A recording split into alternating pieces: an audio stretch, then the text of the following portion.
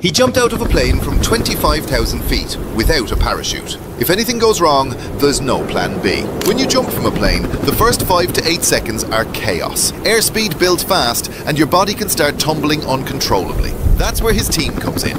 Three crew members jumped with him, each with a parachute to keep him stable and on course. But wait, they're all falling too.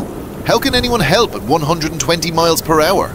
Experienced skydivers fly in formation using precise body postures to create a stable air pocket around one another. Luke reads their positions like a pilot reads instruments, matching their angle using tiny arm and leg shifts to stop tumbling. At this altitude, the air's too thin. Blackout can hit in seconds. Halfway down, around 15,000 feet, he takes a huge risk, removing the mask and handing it over mid-air. Why? Because below that height, the air's finally thick enough to breathe, but now he's completely alone. He's plummeting toward Earth at nearly 120 miles per hour, steering only with his body. On the ground, engineers wait beside a net about the size of two basketball courts, woven from spectra fibers stronger than steel, held aloft by cranes with air dampers ready to absorb impact. But how can anyone hit such a small target from 5 miles up? Before the jump, his team modelled winds, exit angle and drift from months. Even one degree off means missing the net and certain death. At 2,000 feet, the net finally appears, a glowing rectangle of hope